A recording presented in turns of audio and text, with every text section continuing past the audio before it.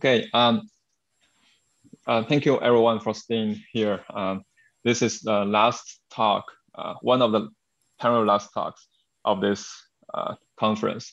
So this is um, this is talk is about near optimal ground state preparation uh, by Yu Tong and uh, Lin Lin from Berkeley. And Yu Tong will be presenting. Uh, please go ahead, Yu Tong. Yeah, uh, thank you. Uh, uh, can, can, can you make the slides uh, full screen? sure, yeah. Yeah, sure. Uh, yeah, can you see it in full screen now? Yeah, yeah, yeah. Thank you. Okay, yeah, thank you. Uh, so hello everyone, thank you for coming. Uh, so this talk will be about near optimal ground state preparation, and I will also be talking about uh, ground energy estimation along the way. So this talk is based on a joint work with Lin Lin, and the, the paper has already been published on Quantum. Here is the arXiv number if you want to check it out. So the problem setup is very simple. We suppose we are given a quantum Hamiltonian of size 2 to the n times 2 to the n, and the goal is to find its smallest eigenvalue lambda 0, which we call the ground energy, and the corresponding eigenstate lambda 0, which we call the ground state. So uh, as you can see, this is a very basic problem. However, it is also a very hard one because there is a well-known result that without additional information, the task of finding the ground energy of a k-local Hamiltonian is QMA complete. So in order to make this problem tractable, we need to add some assumptions. And the, the first assumption we add is that we assume we are given a circuit UI that prepares an initial state phi zero. And this phi zero has an overlap with the exact ground state psi zero that is lower bounded by a parameter gamma. So this is a highly non-trivial assumption, uh, which we will use in all our algorithms. Uh, for our state preparation algorithms, we will need a further assumption, which is that a spectral gap between the uh, ground energy and the first excited state energy uh, is lower bounded by a parameter delta. Uh, so these assumptions are uh, reasonable in many uh, interesting settings. For example, if we consider a quantum chemistry setting, then there is a method called Hartree-Fock method that enables us to prepare, actually it produces a, a approximate ground state in the form of a single Slater determinant. So because it's a single Slater determinant, it can actually be efficiently prepared using a quantum circuit. And it usually have a pretty good overlap with the exact ground state uh, if your system size is not too large. And also we usually have some empirical knowledge of how large, large the spectral gap is, uh, either through uh, classical simulation or experiments. So some other ways to uh, construct this UI includes using variation, variational algorithms such as variational quantum eigensolver and QAOA and adiabatic evolution. Uh, so we're certainly not the first uh, ones to consider this problem. Uh, actually, the earliest paper I can find is this 1999 paper by Abrams and Lloyd. So uh, basically, uh, the previous works all assume roughly the same oracle assumptions, like uh, they assume they have this UI and H is given through the time evolution operator e to the minus i tau H. So the simplest idea is just to perform phase estimation uh, using this time evolution operator on this initial state phi zero. So uh, each time we run phase estimation, when we measure the uh, energy register, we will get an eigenvalue in this register and a corresponding eigenstate in the state register. So uh, because we assume there is an initial overlap, uh, when we perform this measurement, there is basically a, a gamma, uh, there's basically a gamma squared probability of getting the ground energy and the ground state. Uh, so what we do to prepare the ground state is just we run phase estimation for a total of basically gamma to the minus two times, and with high probability, you will get ground energy in the energy register and ground state in the state register. So the query complexity of this approach, if you want to uh, estimate the ground en energy to some precision epsilon, then the query complexity is uh, as follows. Basically, you need epsilon inverse times gamma to the minus two queries to the time evolution operator and gamma to the minus two queries to this uh, Oracle UI. And this 2009, uh, 2019 paper by Tura and Cirac improved the dependence on gamma to uh, only gamma inverse, but this comes at the expense of a worse dependence on epsilon. Uh, so if you want to do uh, ground state preparation, then basically you need to first estimate the ground energy to some precision that is roughly the spectral gap and then prepare the ground state. So the dominant cost actually comes from ground, ground energy estimation and the query complexity is obtained by just replacing old epsilon we have discussed before by this delta. Uh, so in this talk, I will be presenting three algorithms. Uh, the first one, I will talk about how to prepare the ground state when we have a sufficiently tight upper bound of the ground energy. So this, in the second algorithm, we estimate the ground energy. In the third algorithm, we uh, combine the previous two algorithms uh, to prepare the ground state without knowing uh, this upper bound needed in the first algorithm. So what we do in the third algorithm is basically we first estimate the ground energy to sufficient precision. This enables us to find the upper bound that, it, that can be used in the first algorithm. Then we apply the first algorithm to uh, prepare the ground state. Uh, and then uh, I will show you that actually the uh, query complexity of the first and the third algorithms, uh, although they assume different prior knowledge, the complexities are basically the same and they have near optimal dependence on the parameters gamma and delta. Uh, and compared to previous algorithms, we mostly improve in terms of ground energy estimation. So this will be our main result. Uh, so for ground energy estimation, we assume this, uh, uh we assume access to this oracle UI and H is given through a unitary UH that block encodes H. So we call UH a block encoding of H. And this is a little different from the assumptions in previous works because uh, like they assume access to this time evolution operator, but later I will explain that these two assumptions are actually equivalent. So we still need this overlap assumption, and the goal is to estimate ground energy to within additive error epsilon. There will be some error probability, and we want to control it below a threshold theta. So our result is that we can do this uh, by using uh, basically gamma inverse times epsilon inverse queries to UH and gamma inverse queries to UI. So this is query complexity. The gate complexity is roughly the same. Uh, so to get some sense of like whether this result is good or bad, we compare it with previous works. So in previous work uh, for phase estimation, they have a, a, nice dependence on the precision epsilon, but dependence on gamma is not so good. Uh, in this GTC paper, they have a nice dependence on gamma.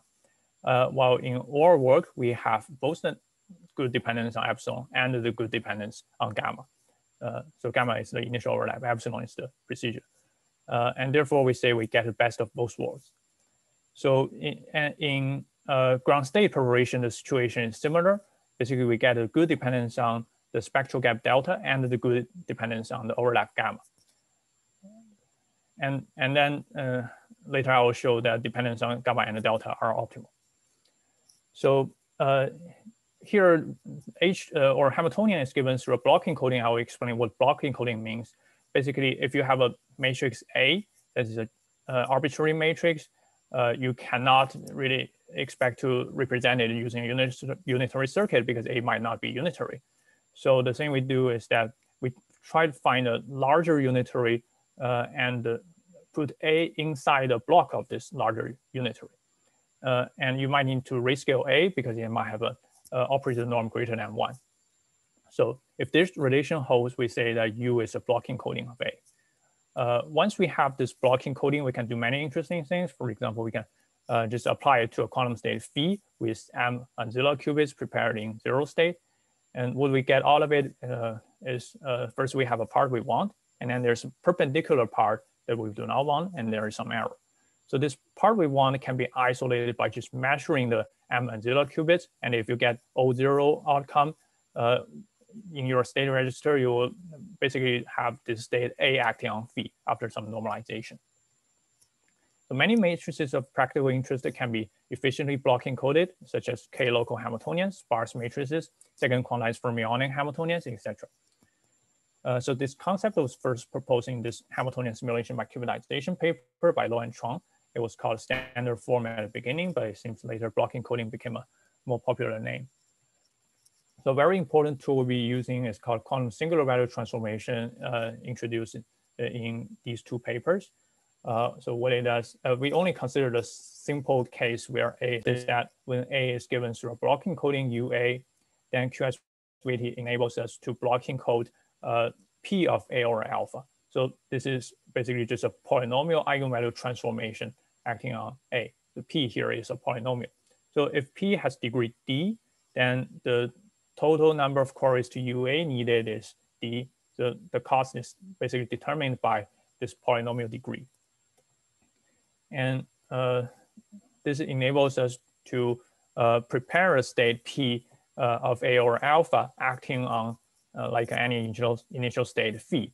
So we can use this to do many things, such as uh, if we uh, if we let P of X approximate inverse function X inverse, then P or alpha acting on phi will basically just gives us A inverse phi right? So this enables us to solve the quantum linear system problem. And similarly, we can uh, prepare, uh, prepare the Gibbs state and perform Hamiltonian simulation and do many interesting things with this method. So uh, these things are discussed in detail in this paper by Gilyén Sulo and Wiebe.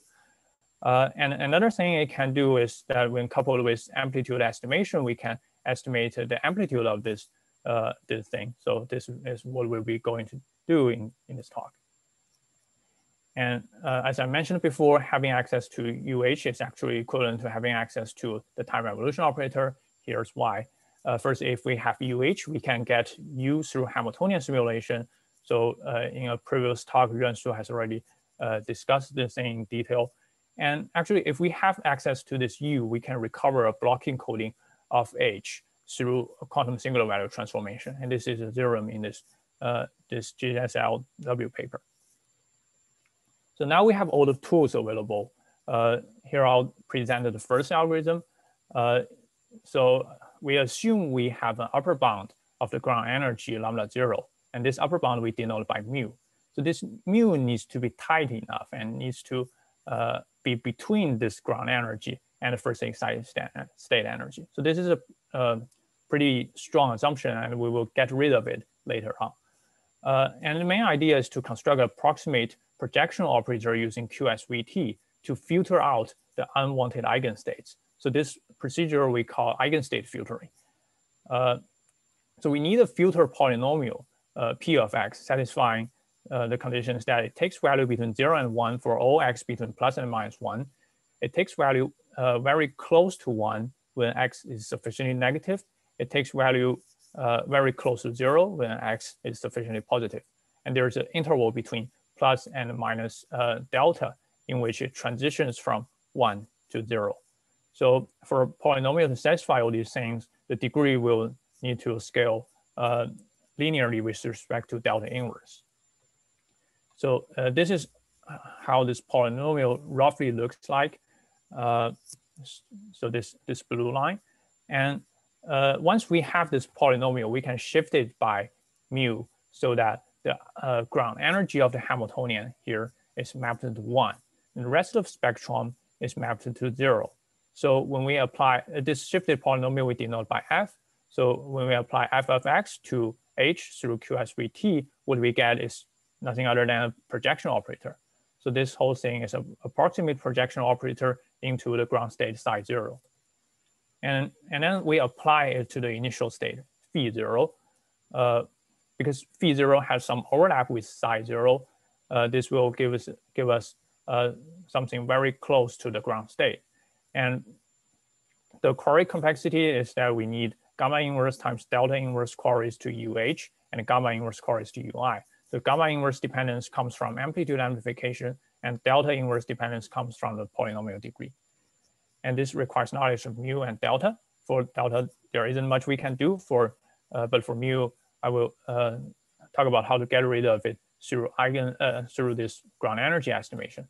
So this will be our second algorithm uh, in which we estimate ground energy. The main strategy is to reduce it to a bunch of decision problems.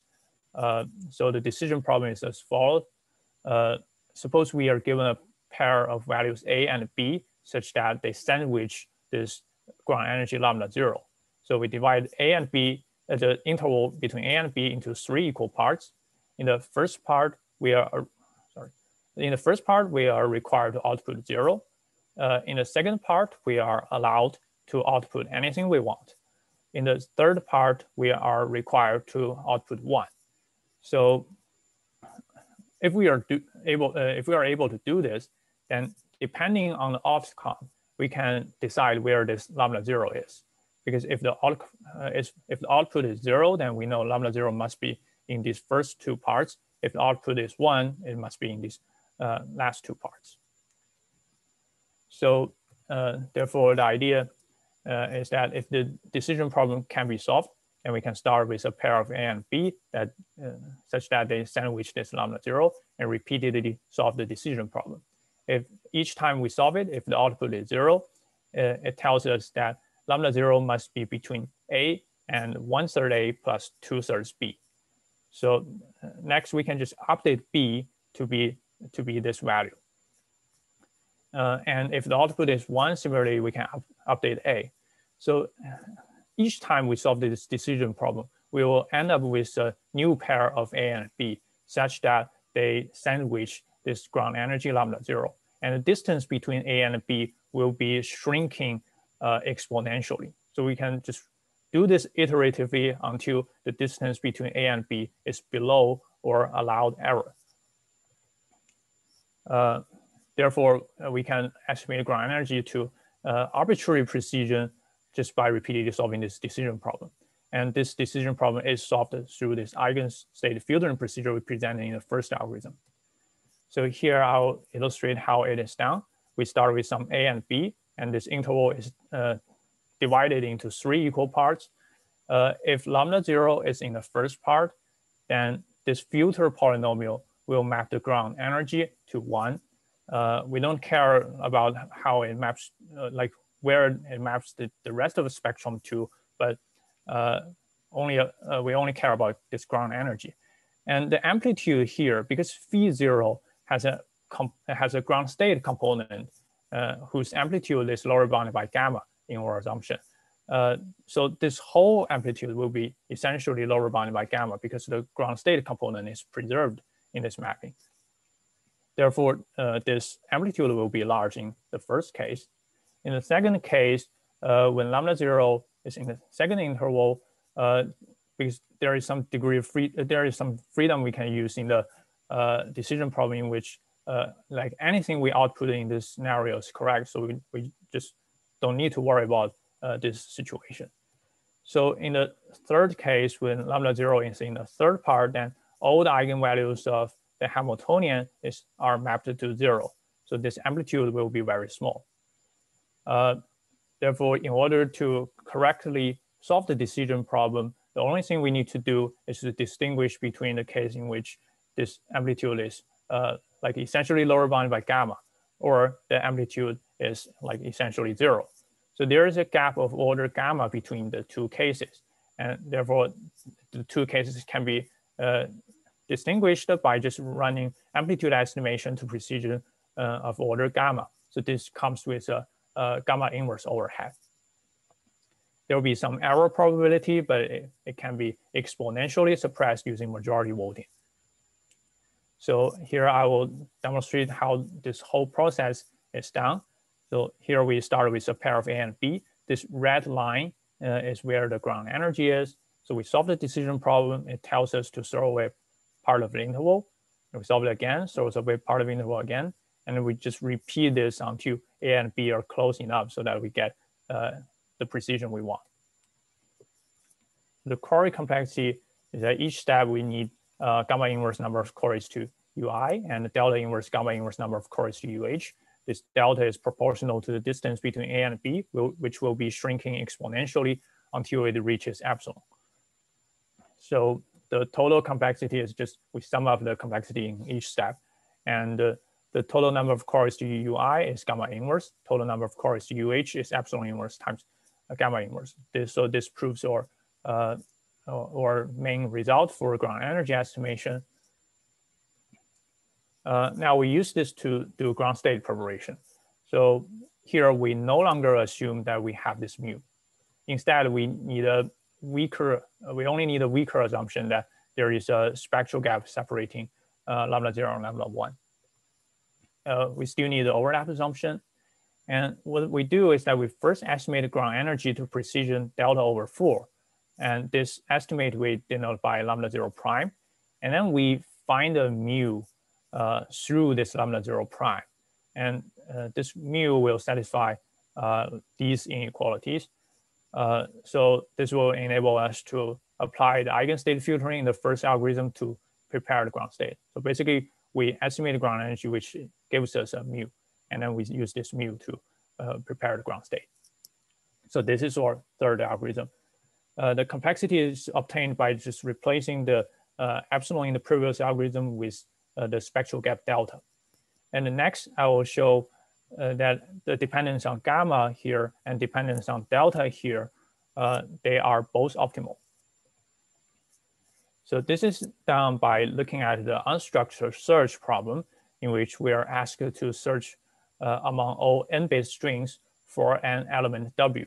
So this W is marked by an oracle UW, which when acting on any bit string X gives you X, except when X is equal to W, in which case it, it gives you minus W. So the famous BBB theorem tells us that this problem cannot be solved with small o square root of n queries to UW. And we observed that this is actually a ground state preparation problem because uh, like if you look uh, look at this thing as a Hamiltonian because it's, it's Hermitian and uh, the ground state is nothing other than just W and the corresponding ground energy is minus one. So here we formulate uh, this problem in our framework.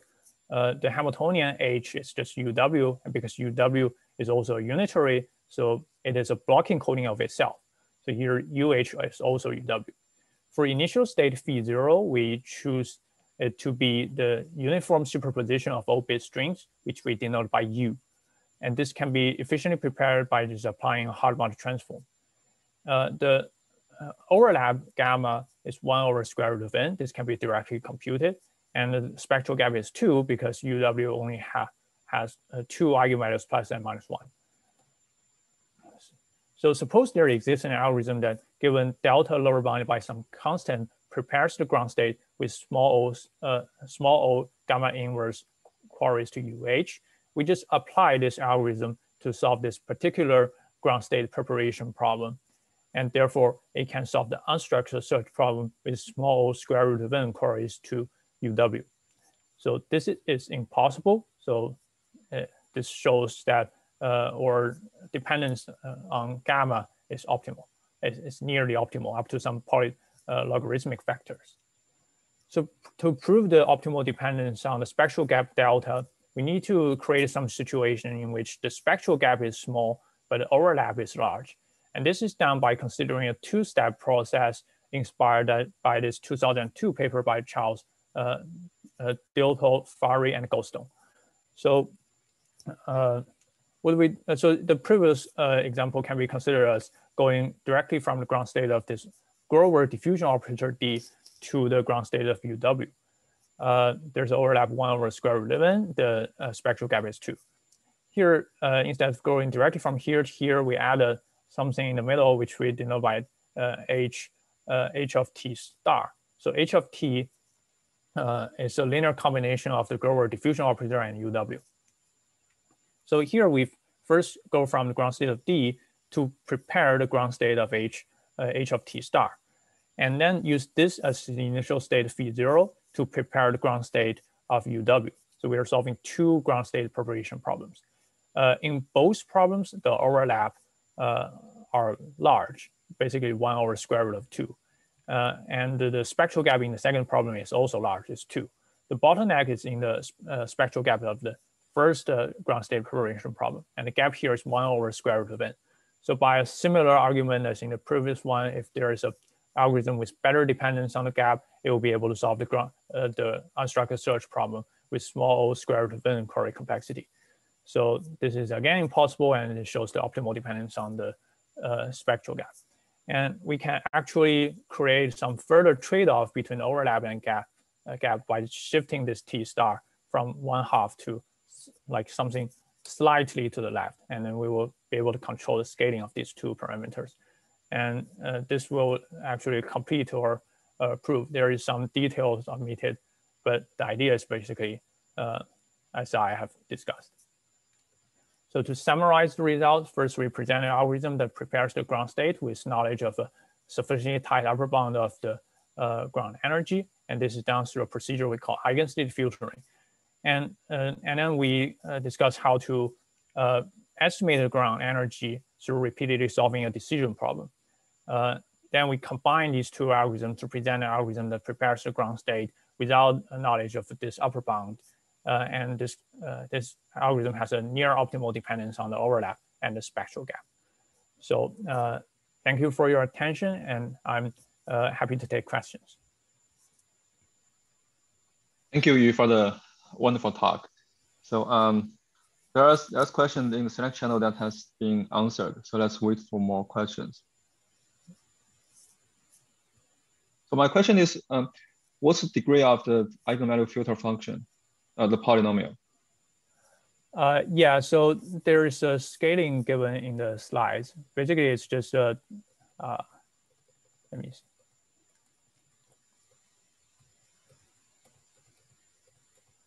Yeah, so basically it's just uh, this delta inverse times logarithmic uh, epsilon prime inverse. So delta delta is the like basically the gap here. Okay, I see. Um, yeah, so epsilon is your precision for for how close yeah. it is to one, how close it is to zero. Okay. Uh, yeah, there's a follow up. Yeah. Yeah. Okay, thanks. There's a follow up um, of the Slack channel question. So um, Abhinav uh, Abhinav now uh, asked, um, and, what's the what's the um, cost from translate uh, for translating the, the block encoding Hamiltonian to the uh, time evolution operator, and what was cost for translating back? And Andrea said it's, it's not the unit cost.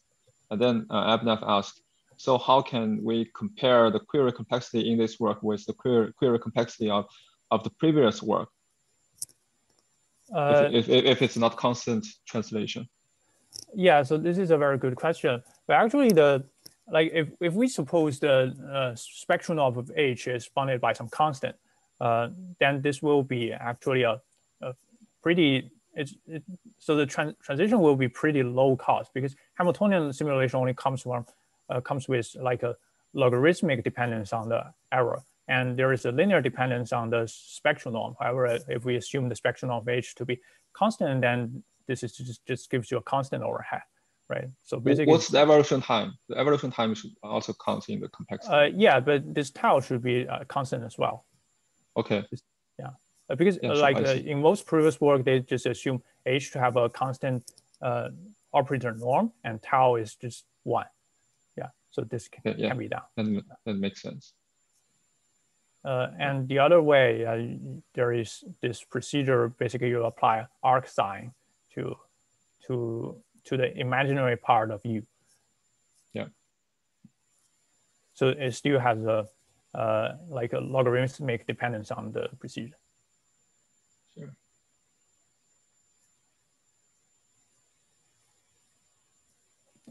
Yeah, actually here we use uh, quantum singular value transformation. However, if you have access to this time evolution operator, what you can do is you just apply the, the, another method called linear combination of unitaries and, and it can give you a similar result. Only, only comes at the expense of like a more ancilla qubits needed to, to perform this procedure. Yeah. And Yuan, Yuan Su is asking, what do you think would be the potential uh, future direction uh, for ground state preparation? Uh, yeah, so yeah, this is something I meant to talk about, but didn't because of time limit. Uh, so there is this dependence on gamma, which is, uh, so we need to assume there's an initial state phi zero, and which has a overlap with the ground state that is lower bounded by gamma. So this dependence, uh, although here I prove is optimal, uh, in many practical settings, is it can be extremely small. For example, if you consider a condensed matter system, so the Hartree-Fock solution can have a like an exponentially small overlap with the uh, exact solution. And this kind of scenario, I'm considering like uh, so you cannot just apply this method directly because it will give you a exponential cost. So what I'm considering is that perhaps you can use some quantum embedding method to cut the system into smaller size uh, subsystems and then uh, apply this kind of approach. But this, yeah, so this is certainly something uh, I need, like we need to work uh, work more on. And another uh, another uh, potential direction is that here we require knowledge of how how large this gamma is. So what if we we only know this gamma is like not too small, but we need to find uh, like a, we don't have a very precise knowledge of how large it is. So this kind of scenario, I think, can be explored further. Sure, thanks. So uh, let's thank all the speakers of this uh, session. The, thank you all. Thank you. Uh, also thank all the uh, audience. So I just want to remind uh, remind everyone that um, you can join the roundtable uh, after the uh, session, and the round roundtable button can be found uh, on the bottom of the, uh, the stage page, and each each speaker has their own roundtable, so you can join the uh, round, Zoom link to chat with the, to, to chat with each speaker and ask